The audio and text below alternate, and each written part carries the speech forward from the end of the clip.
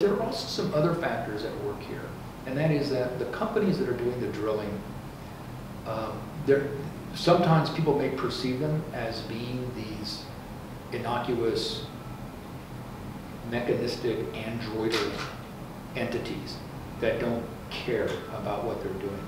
There's something called reputational risk that most American companies worry a lot about because they know that reputational risk can damage your, if you're a publicly traded company, your, your stock price.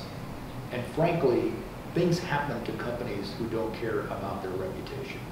So I think that if you come up with some reasonable rules and a reasonable balance, I think most of the parties will find a way to, to reach a consensus where most people will be satisfied.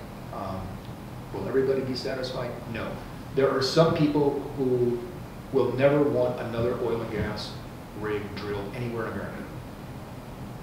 You could put it in the middle of the desert, and they are simply opposed to that mm -hmm. for very strict environmental reasons. There are other people who are on the other side who will say, we, if ExxonMobil wants to drill in downtown Denver, they should be able to do it. Those aren't what I consider to be the, the reasonable majority of people in, in, the middle. And I think the majority of people in the middle are, are going to find that there's a way to reach a compromise here. Some mistakes have been made along the way.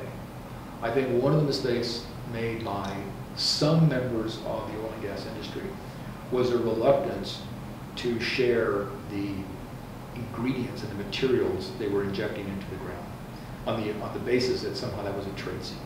That was a mistake.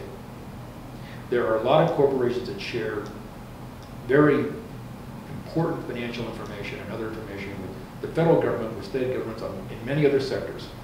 And um, had I think the industry a long time ago said, State Department of Natural Resources or whatever agency is going to look at this, if we share with you how much sand and chemicals and what we're putting into the land, you've got to guarantee that you won't share that with our competitors. And by the way, if you do, there's a $5 billion penalty you got to pay me.